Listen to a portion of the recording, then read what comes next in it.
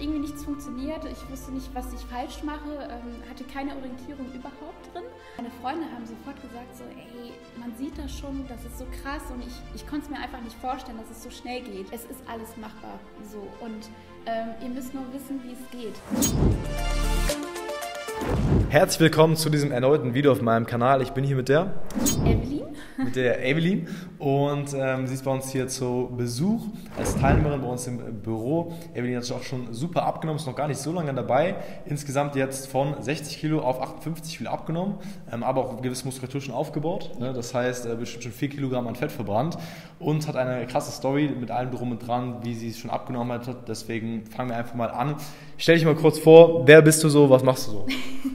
Ja, ich bin die Evelyn und ähm, ja, ich habe äh, eigentlich Kauffrau zu Büromanagement gelernt und ähm, ja, mache aktuell jetzt ähm, in einer Behandlung, ähm, bin ich drin und ähm, werde erstmal ein Päuschen machen, sage ich mal, und bald dann irgendwann auch wieder anfangen, in, äh, ja, einen Bürojob zu machen. So, das ist so, ja, Buchhaltung liebe ich extrem und ja, und dann in dieser Richtung werde ich dann bald auch wieder reinsteigen.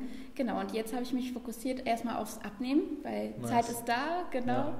Und äh, fand ich schon ganz cool. So. Und ähm, diesen Schritt zu machen, war eine beste Entscheidung, die ich machen konnte. So. Wie alt bist 25 bist du, ne? Ich bin 25, genau. 25, okay. 25 Jahre.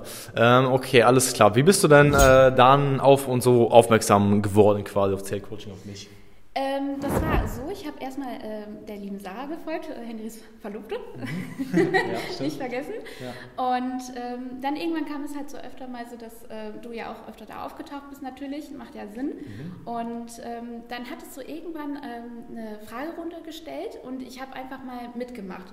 Und ähm, ja, und dann habe ich gedacht, okay, ist eine 50-50 Chance, dass er mir antwortet. Ja. Was für eine Frage hast du gestellt, weißt du noch? Äh, das weiß ich nicht. Das war, ähm, genau, du wolltest ein Video schicken. Genau, mhm. das war ja, das. Stimmt, und ja. ähm, so kam das, dann habe ich gedacht, okay, fragst du mal noch, ob ich auch haben darf. So. Okay.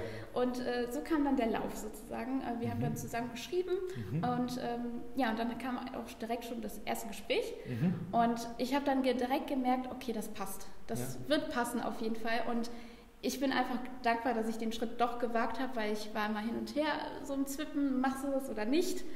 Und ähm, ja, und dann habe ich doch entschieden, du machst es, jetzt oder nicht. So, und das war mir wichtig.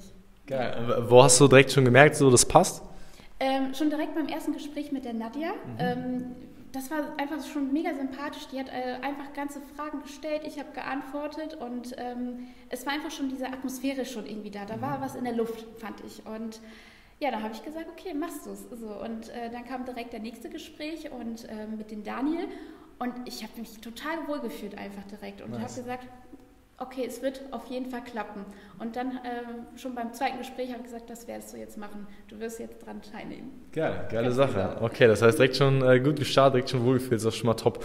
Ähm, wie, wie hat das denn bei dir gestartet? Also wie war deine Situation so, bevor du zu uns Coaching gekommen bist? Wie hast du, wie war dein Körper? Was hat dich am Körper gestört? Erzähl mal.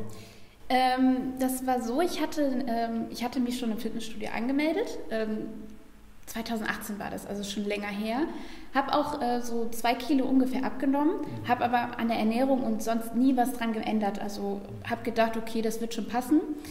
Ja, und ähm, dann habe ich irgendwann gemerkt, okay, das ist öfter nicht hat irgendwie nichts funktioniert. Ich wusste nicht, was ich falsch mache, ähm, hatte keine Orientierung überhaupt drin und habe dann gesagt, okay, du musst das irgendwie ändern. Es hat mich einfach nur gestört, so mein Bauchumfang, meine Beine und ich habe nie abnehmen können in der, äh, an den Stellen, sag ich mal. Und das fand ich nicht schön mehr. So. Und ich habe mich nie wohl gefühlt. Ähm, ich habe immer so ein bisschen weitere Sachen getragen. Dunkle Sachen, klar, trage ich jetzt auch. Aber ähm, nichtsdestotrotz äh, traue ich mich jetzt schon mehr mal auch Farbe zu tragen. Und das ja. war mir sehr wichtig.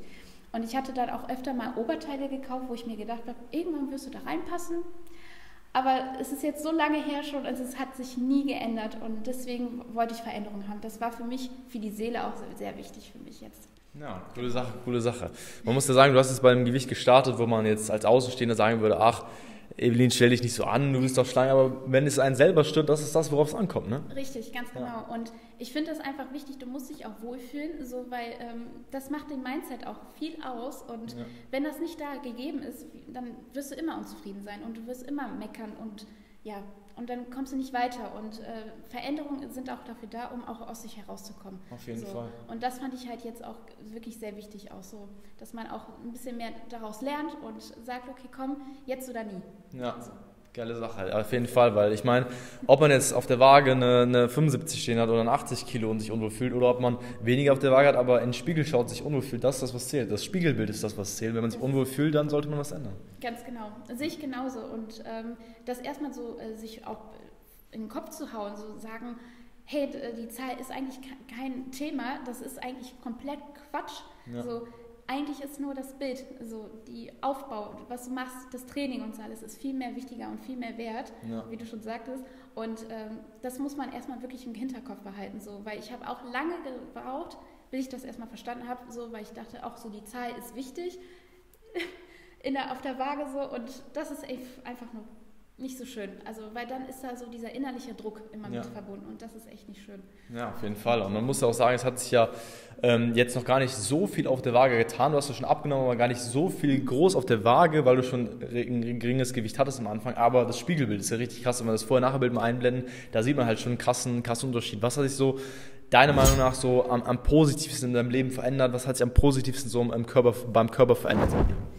Also es war schon Wahnsinn, auch so äh, in dieser kurzen Zeit, die ich äh, jetzt erst schon abgenommen habe. Ich finde es immer noch nicht so viel sofort. Ähm, aber so meine Freunde haben sofort gesagt, so, ey, man sieht das schon, das ist so krass und ich, ich konnte es mir einfach nicht vorstellen, dass es so schnell geht. Mhm. Und ähm, ich fühle mich auch schon mit meinem Bauch schon viel wohler, muss ich ehrlich sagen. Und ähm, das war vor ein paar Wochen einfach noch nicht der Fall. So. Ja. Und ähm, ich stelle mich jetzt so mehr gerne auch in den Spiegel und gucke mich an und sehe, okay, da ist was getan und man sieht diese Resultate und das ist echt ein schönes Gefühl schon. Also man fühlt sich schon wirklich wohler. Geile Sache, das, das, das ist doch schön. Ja, wenn man sich wohler fühlt, ist doch, ist doch nice. Ich glaube jetzt gerade, wenn Sommer ist, merkt man auch so Klamottentechnik wahrscheinlich, oder? Vollkommen, richtig. So, das, das war für mich auch immer ein schwieriges Thema. So, gerade wenn die Sommerzeit angefangen hat, ich fand das immer schrecklich, weil du willst gerne mehr so ein bisschen auch schön zeigen, aber du fühlst dich in deinem Körper nicht wohl und dann versteckst du dich wieder. Ja. So, und das ist einfach nicht schön. Und deswegen, und Sommerzeit war auch eine Herausforderung für mich. Und dann habe ja. ich gesagt, jetzt willst du auch in den nächsten Sommerzeiten endlich mal mit deinem Traumkörper rumlaufen und nicht so eingeengt. So, ja. genau. Und jetzt ist ja Hochsommer, wir haben 30 Grad, wir waren gerade sogar eine Runde spazieren. Jetzt hast du ein Kleid an, sieht gut aus. Dankeschön. Ne? Und fühlt sich wahrscheinlich viel wohler, oder? Wollte ich gerade sagen, ich äh, habe jetzt seit diesem Jahr wirklich angefangen, mehr Kleider zu tragen. Und muss ich echt sagen, nice. ich bin froh. Ja, ich freue mich, weil ich wollte immer schon Kleider tragen, habe mich nie getraut, hatte auch immer ähm, auch eine Leggings noch angehabt, weil ich immer gedacht habe, du musst deine Beine verstecken. So, das ist totaler Quatsch. Ja. Aber es war so damals die Zeit. Jetzt ist die Zeit vorbei. Richtig. Nice. Okay, du hast ja super Erfolge erzielt. Was hast du denn schon ausprobiert, bevor du zu uns gekommen bist? Was hat so alles nicht geklappt? Ja, genau. Ich habe, ähm, ja, ich hatte mich halt im Fitnessstudio angemeldet und habe gedacht, okay, das wird schon reichen. Und ähm, ja, bin ich öfter auch mal hingegangen, ähm, habe dann auch erstmal ein bisschen abgenommen, aber so am Essen oder so Ernährung habe ich mich nie wirklich drum gekümmert. So. Also ich habe immer gedacht, so ja, du musst eigentlich dich gesünder ernähren, das hatte ich auch oft gedacht, aber ich konnte es nicht. Es war einfach anstrengend für mich schon direkt und habe äh, darauf direkt schon verzichtet. Also ich habe ja. da nichts, keinen Wert drauf gegeben. Und ähm, ja, das hat dann nie geklappt, wirklich. Ähm, und ich wusste nie, wo, woran lag das denn nicht. Klar, die Ernährung ist A und O, aber ich wusste trotzdem nicht, was ist da jetzt falsch. So. Und ähm, ja, und dann hat es trotzdem einfach nie geklappt. Und ich bin noch nie weitergekommen, so wie jetzt. So. Ja. Und ich war immer gleich 60, 63, wog ich immer. Es hat sich nie was getan. So. Und dann habe ich auch lange die Motivation verloren im Gym und bin auch nicht mehr hingegangen, weil ich habe gedacht, bringt doch eh nichts, alles. Und ja, und seitdem aber jetzt, ähm, ja, habe ich gesagt, okay, jetzt muss es klappen. So, weil vorher hat einfach diese Sachen einfach nicht geklappt. So Ernährung, so Diäten habe ich nie ausprobiert, weil ich habe gesagt, das werde ich eh niemals aushalten. Ja, da bist so. du schon mal einen Schritt weiter als die meisten. Das ja. stimmt. Ja, die meisten ja. machen nämlich. Aber das ist doch schon mal schon mal eine coole Sache. Also du hast natürlich recht, man ist halt auch überfordert mit den ganzen Informationen, die es im Internet gibt. Man weiß nicht genau, worauf soll ich jetzt hören, was stimmt jetzt, man probiert vielleicht ein paar Sachen aus, aber wenn man nicht weiß, was man eigentlich falsch macht, dann denkt man sich, hey, ich mache doch alles richtig. Ne? Richtig, ganz genau. Und äh, dann ist da so dieser innerliche Druck in dir, du willst es schaffen, aber es funktioniert nicht und dann bist du selber schon demotiviert und ja, frustriert einfach auch schon und das macht einfach keinen Spaß. So. Und ähm, ja, und dann sagst du, okay, bringt ja eh nichts, sitzt du wieder auf der Couch rum. Ja. So, und da ist niemandem was geholfen. So. Und das ist ja. echt traurig, dass es so schnell geht. Ja, auf jeden Fall. Das sind viele, die denken sich dann auch irgendwann, wenn die das ein paar Monate machen, denken sich, hey, wofür mache ich das? Das bringt ja eh nichts. Vielleicht liegt es einfach an mir, vielleicht kann ich irgendwie einen Traumkörper nicht erreichen. Aber was würdest du den Leuten sagen? Genau, deswegen, also es geht, es ist machbar. Jeder kann äh, abnehmen, so ist es nicht. So, man muss es nur wollen, so ist das. Und ähm, anders würde ich das nicht anders beschreiben. Es, äh, wenn man das will, dann geht es. So. Ja. Und das ist wichtig, auf jeden Fall. Sehr geil, sehr geil, okay. Genau. Alles klar, super. Dann bist du zu uns ins Coaching gekommen. Genau. Ähm, was würdest du denn sagen, was hat dir so bis jetzt beim Coaching so am meisten gefallen? Äh, diese, ja, die Offenheit einfach mit euch so. Ihr könnt einfach super miteinander sprechen so und man kann offen und ehrlich einfach ähm, mit euch kommunizieren und ihr versteht es, ihr äh, nimmt es auf und das fand ich halt schon direkt schon so beeindruckend so und ich habe mich einfach direkt wohlgefühlt schon so, weil das so locker ist so und nicht so streng alles so. Natürlich, man, ihr seid natürlich irgendwo gewisserweise streng, damit es läuft, natürlich. Wenn es nicht läuft, sind wir noch strenger. Richtig. Aber ihr macht es auf eine sympathische Art und das ist einfach was Schönes so und ja. Keine Ahnung, also wenn keiner hier hinkommen würde, würde ich auch, das ist irgendwie falsch, dann ja. bist du auf der falschen Seite, so ja. auf jeden Fall. Und ich fand es immer schon sofort toll. Und die Gespräche einfach so. Man kann mit euch einfach reden, die ganzen Fragen stellen, die in einen Kopf schwirren. Egal, ob das nur, ähm, ja, welchen Schuh trage ich oder so, egal was. Und ihr beantwortet die immer schnell und ähm, ihr seid füreinander da und das ist toll. Also man fühlt sich aufgehoben definitiv. Sehr schön. Ja. Das ist schön. ja.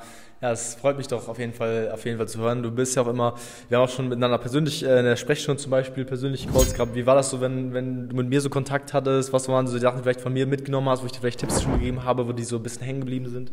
Ich fand das schon wirklich äh, viel wert. Also ich habe das dann auch umgesetzt, ähm, versucht so umzusetzen, zu verstehen, okay, wie will er das ungefähr oder wie meint er das, also du? Und ähm, ich fand das schon gut. Also die Sprechstunden sind auch wirklich viel wert, ähm, um auch so viel Eindrücke zu äh, entwickeln. So. Und mhm. das fand ich ganz gut. Also finde ich sehr gut, auf jeden Fall so. Cool. Was, was gab es so für vielleicht eine Sache, die du vielleicht von, den, von dem Kontakt mit mir im Kopf geblieben ist? Vielleicht so ein Tipp, wo du sagst, boah, den wusste ich vorher nicht, der hat mir schon geholfen, irgendwie ein Tipp oder so? Ja, das war der erste Tipp äh, tatsächlich ähm, mit, der, äh, mit dem Essen. Mhm. Ähm, dass, äh, du musst nicht unbedingt ähm, morgens, mittags, abends essen. Mhm. So, das ist Quatsch, weil das haben die Menschen früher auch nicht getan. Ja. So, die haben mindestens vielleicht mal eine Mahlzeit gehabt am Abend oder ja. so. Und äh, das ist mir tatsächlich in den Kopf geblieben, weil ähm, dann habe ich gedacht, okay, dann kannst du dein Essen auch so schön gestalten und ähm, dann für später, so wenn du morgens dann noch keinen Hunger hast, warum sollst du dir unnötig schon reinstopfen, wenn es nicht nötig ist? Es muss nicht sein. So. Und ja. dieser äh, Tipp war bis jetzt immer noch geblieben im Kopf und das ja. finde ich echt super. So. Und daran habe ich einfach nicht nachgedacht, so hat er eigentlich recht. So, dann hast du mehr Zeit und kannst dann äh, so anders individuell deine Ernährung einfach planen. Und das ist echt schön. So, ja.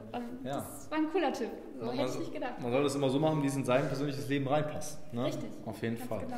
Richtig geile Sache, cool, cool. Finde ich auf jeden Fall, äh, finde ich auf jeden Fall mega, dass du schon super Erfolg erzielt hast. Was ähm, würdest du denn sagen, was sind jetzt noch für die nächsten Monate so dein Ziel vom Körper? Wie würdest du deinen absoluten Traumkörper so beschreiben? Ähm, ich würde schon gerne ähm, ja, noch schlanker werden, also straffer alles äh, einrichten, dass ich auch mehr Muskulatur aufbaue, weil ich merke total, also schon die erste Woche habe ich auch euch geschrieben, so, ey, ich merke total, ich habe keine Muskeln. So, das war schon erschreckend und ähm, das hilft wirklich schon viel mehr, wenn du mehr Kraft aufbringen willst und so alles. Und das ist so mein Traum, auf jeden Fall so mehr Muskeln aufbauen auch und ähm, ja, einfach so, dass es äh, straffer aussieht alles und äh, nicht mehr so schlappig, sage ich mal gerne genannt. ja, ja. Äh, man muss sie auch, ja, die Wahrheit im Auge sehen und das wäre einfach schön. So, genau. Ja, da bin ich dir sehr guter Dinge, dass du das auch schaffen wirst. Ne? Du ziehst auch mega durch, bist super fleißig, von daher, das ist schon mal, ist schon mal geil, cool. Okay. Es gibt äh, immer viele Leute, die sehen jetzt so das Vorher-Nachergebnis von dir, sehen, boah, die, die Evelyn passt wieder in die Klamotten rein, hat so super Folgen, auch in kurzen Zeitraum und denken sich, ja, das ist für sie selber wahrscheinlich nicht so möglich. Also, oder es ist viel zu schwer, es ist viel zu mit Verzicht verbunden, ah, das ist nicht machbar. Was, was würdest du diesen Leuten sagen? Ich würde einfach sagen, das ist alles Quatsch, was ihr sagt. Also, ähm, es ist alles machbar. So. Und ähm, ihr müsst nur wissen, wie es geht. Und dann ist einfach alles easy. Also sobald man einmal das einmal verstanden hat, läuft das einfach so. Und dann ist es eigentlich komplett simpel. So würde ich das sagen. Ja. so, man darf sich nicht so viel den Kopf machen. Okay, das heißt, würde auch sagen, im Grunde genommen ist für jeden, der jetzt nicht irgendwie eine richtig krasse Krankheit hat, ist absolut realistisch, den Traumkörper zu erreichen. Das ist realistisch, auf jeden Fall. Also ich kenne auch eine Freundin, die äh, hatte auch einmal abgenommen ähm, und die hatte auch Diabetes und das ist machbar, nur wenn man es richtig macht. Ja, auf jeden Fall. Genau. Coole Sache, coole Sache. Ja, ich finde es mega, dass du durchgezogen hast. Cool, dass du uns hier im Büro besuchen gekommen bist. Was sagst du zum Büro so? Richtig schön, also ich kann es nur empfehlen, äh, mal vorbeizukommen. Ja, aber nur wenn ihr Teilnehmer seid, Genau. sonst gibt's, kommt ihr nicht hin. So, ein bisschen schwierig, ganz Ja. genau. Nee, aber es ist wirklich sehr sympathisch, schön eingerichtet, tatsächlich auch. Und es ist wirklich gemütlich, also man fühlt sich wohl. Also ich habe mich direkt hier wohl gefühlt, ich komme rein und ähm, es ist ein- einfach angenehm. Gibt es zum Abschluss noch irgendwas, was du noch sagen willst oder irgendwie sowas? Ähm, tatsächlich eigentlich nicht so. Irgendwie ein Grüßen oder so? Ja, Grüße. Sehr gerne an meine Familie, wenn ich sagen darf. Familie, ja. Genau, das Sehr ist gut. immer ganz schön und das braucht man auch. Sehr genau. gut. Alles klar, dann würde ich sagen, falls du das jetzt hier draußen siehst und sagst, hey, ich möchte auch abnehmen, ich möchte auch einen flacheren Bauch bekommen, wieder in- ins Kleid reinpassen und mehr Kleider wieder anziehen können, dann kannst du dich jetzt gerne, wie Evelyn damals auch, für ein kostenloses Erstgespräch bei uns bewerben. Wie war das Erstgespräch so? Es war einfach mega. Also es war ganz locker. Es hat nicht lange, also es hat schon ein bisschen gedauert, aber es hat trotzdem, war einfach ganz locker so. Und ähm, einfach das Gespräch, so man wird Fragen beantwortet bekommen und das war es eigentlich schon so. Und dann Ganz hat man easy. schon einen Eindruck. Das Ja. ist ganz easy, genau. Ganz easy. sagtest. Deswegen einfach mal machen. Klick mal jetzt unter diesem Video auf den Link www.henryzelt.com. Mach gerne einen Termin aus für ein kostenloses Erstgespräch. Da sprichst du mir persönlich oder einem Experten aus meinem Team mal bei der Situation. Wir schauen, wo du stehst, was dein Ziel ist und ob wir dir überhaupt weiterhelfen können. Ähm, deswegen mach gerne das Erstgespräch, gib dem Video einen Daumen nach oben und abonniere den Kanal. Wir sehen uns beim nächsten Mal. Dein Henry und deine. Evelyn. Ciao. Ciao.